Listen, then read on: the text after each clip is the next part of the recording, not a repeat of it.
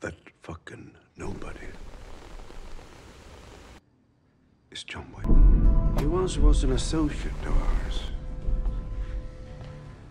We call him Baba Yaga. The boogeyman? Well, John wasn't exactly the boogeyman. He was the one you sent to kill the fucking Again, I'm back. John will come for you. You will do nothing because you can do nothing. You working again? No, just sorting some stuff out. It's your laundry. No one's that good. I thought not.